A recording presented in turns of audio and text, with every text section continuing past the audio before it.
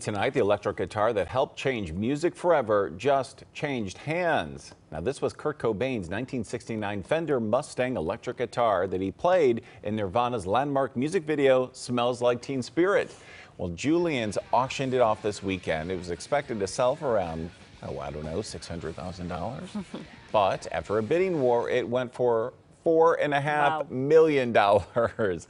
In honor of Mental Health Awareness Month, the Cobain family is now donating part of the proceeds to help raise awareness about mental health disorders.